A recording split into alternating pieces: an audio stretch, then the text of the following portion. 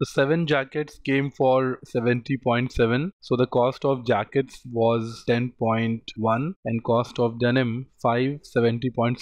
So this would be 14.14 dollars. In April, he bought four jackets. So 10.10 into four, but there was a 20% discount going on. So 40.4 into 0.8 that's dollar 32.32 you can use the calculator always so 32.32